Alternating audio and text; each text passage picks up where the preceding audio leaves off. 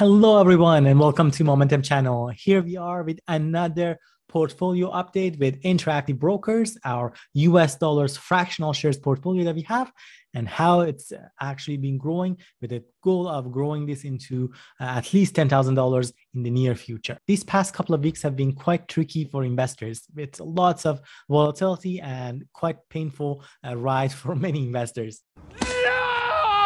but we've managed to survive. And in fact, in the last trading day, we finally had some positive news. So let's get into our stock portfolio and see where things are at this time. As you notice on the screen, uh, we are uh, kind of ranking these holdings uh, based on the number of positions we have. The only position that we have in Canadian dollars is one from a Canadian company called Very Good Food with ticker symbol VERY. We have 146, and it has actually been one of our most horrific uh, holdings here. In terms of our average price, we are looking at $3.76 Canadian, and current last trading price for very good food was at 0.73, only 73 cents. That is actually down by close to 81% or down 442 Canadian dollars. Our approach with, with very good food, we are kind of keeping it untouched and um, waiting for hopefully the price to come back up. We are not adding more shares to our very good food. Next on our list, we have Plug Power. It's an American company, and all of the our remaining holdings are actually in US dollars. Plug Power, we have 4.87 fractional shares roughly. It is down by 36%. The average price for our shares is at $29.46. You'd notice here from the columns that we're displaying, the last trading price for Plug Power was at $18.81. I've also added the 52 week low price and 52 week high price, just to give you an idea of the range of the prices in the past one year. Uh, the last trading price that we've had, our average price at least, is uh, much uh, closer to the 52 week low price. And in fact, the last trading, 1881, is hovering close to that 52 week low price, which is why we think um, given our average price, it would be a good time for us to uh, continue to add to our holdings of Plug Power. And I believe based on analyst estimates that was recently announced, uh, many analysts have changed their ratings for Plug Power to more bullish and positive. Uh, we think that it would be a good time for us to gradually add fractional shares of Plug Power. Next on our list, we have NVIDIA. We have 3.92 fractional share with an average price of $136.33 the average, uh, the last price for NVIDIA has been at $231.39. Definitely has had a lot of pullbacks, but still we are showing a positive 70% return or up 373 US dollars. The last trading price for NVIDIA is somewhat halfway between the 52 week low and 52 week high price, as you notice from the screen. Twilio is our next holding. We have 3.8 fraction of shares of Twilio we added uh, to our existing shares of Twilio. In fact, I believe last week we add and bought three shares, full shares of Twilio with an average price currently at $214.21. The last trading price for Twilio was at $188.90, which is hovering a lot closer to their 52 week low price. Our approach continue, is to continue to buy fractional shares of Twilio. We think it's a great company and these uh, massive pullbacks that he's had uh, creates a wonderful opportunity to add to our existing shares. Apple is our next holding. We have three fractional shares uh, of Apple. It is up by 45% or up $163 uh, in USD. The last trading price for Apple was at $170.70. These prices that we talk about here also take into account the after market closing uh, kind of price implications. You know, sometimes after market is closed, this there are, the market is still uh, allows some after hours trading, and this is takes that after hours trading into account too. All right, our next holding here is NIO. Here we have 2.27 fraction of shares with an average price of $39.95. The last trading price for NIO was at $21.14 after hours, it is much closer to their 52 low price. Uh, in terms of our holdings, it is down 47% or down $42.80. Okta is one of our other holdings. We, we love this company and we are adding more to our existing shares to fractional shares. We currently have 1.88 fractional shares of Okta. It is down 22% or down $98.80. The last trading price for Okta was at $183.87, again hovering much closer to their 52 week low price. Realty Income is another uh, company that we own in our portfolio. We have 1.59 or close to 1.6 fraction of shares of Realty Income with an average price of $58.25.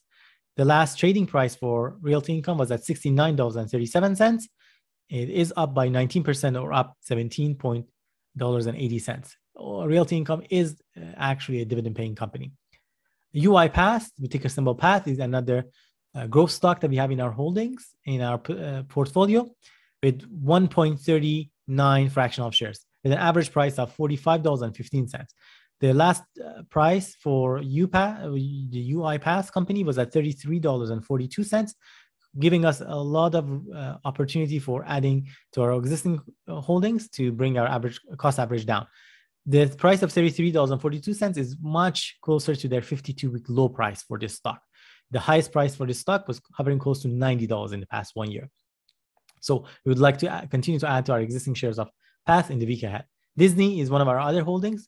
We have close to one shares of Disney, and it is showing uh, upside of six percent. Uh, the price for Disney uh, last try price was at one hundred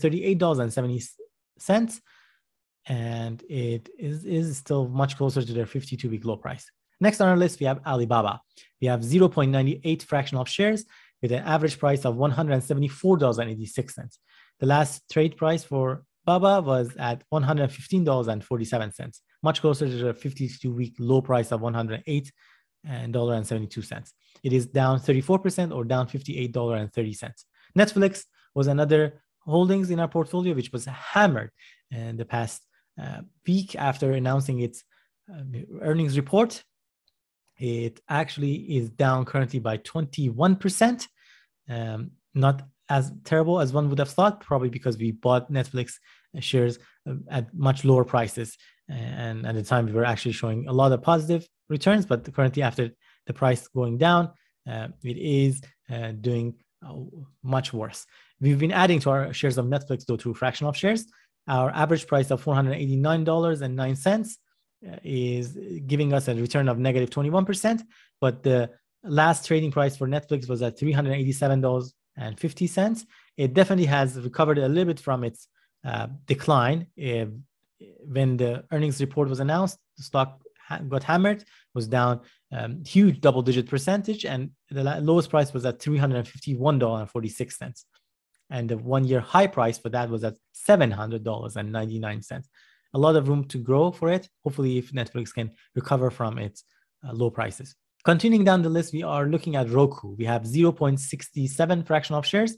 It is down 37% with an average price of $240.99. The last trading price for Roku was at $152, much closer to the 52 week low price of only $139. The highest price that Roku has had in the past one year was at $490.76 we are gradually adding to our shares of Roku to fractional share buys. Tesla is another holdings here with 0.64 fractional shares, up 110%. Uh, the last trading price for Tesla was at, at $852. Um, and the highest price that it has had in the past one year was at $1,243.49. Adobe is another holding in our portfolio. We have 0.62 fraction of shares. It is up 11%. The last trading price for Adobe was at $521, and our average purchase price is at $471.23. Next on our list, we have Costco and a dividend paying uh, company. Uh, we have 0.52 fractional shares with an average price of $365.47.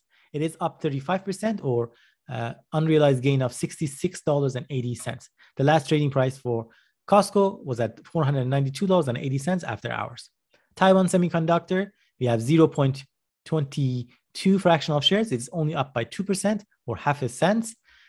It was last traded for the price of $118.50.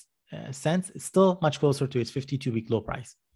Orion Office REIT, we have 0.16 fractional shares it is up uh, actually down by uh, four and a half percent or down 12 cents. The last trading price for that was at $16.66. Amazon is one of our other holdings. It currently is showing a negative return of 8.8%. We have 0.11 fractional shares. The last trading price for Amazon was at $2,885.02, much closer to its 52 week low price. Amazon is another holding that we would like to add to our existing uh, shares through fractional buys in the BCAT. Take Two Interactive is another holdings for our portfolio. We have 0.097 fractional shares. It is up by 1.4%. The last trading price for that was at $157.25. And lastly, we have Etsy with 0.05 fractional shares. Our average price was at $197.96. It is down by 26%. The uh, purchase, the last trading price for Etsy is at $147.39, which is much closer to its 52 week low price. The highest price that Etsy has had in the past one year was at $307.75. Well, there you have it, folks. A quick look into our holdings that we have with Interactive Brokers. It's a fractional shares, mainly investing in growth uh, US dollar stocks. Uh, what are your thoughts about this portfolio and where it's headed? Do you have any of similar stocks in your portfolio? Would love to hear from you. So be sure to leave me a comment down below and let me know what you think. If you enjoyed this video and gained something of value from it, be sure to give this video a thumbs up and share it with someone who might benefit from the video as well. And don't forget to subscribe to our channel. Here on Moementum Finance, we post every week several videos about investing, whether it's investing in the stock market, such as the fractional shares, uh, crypto and dividend stock, as well as investing in um, real estate and cryptocurrencies. We also talk about videos uh, focusing on ways to reach financial freedom. So you don't want to miss that. Thank you, and I hope to see you next time.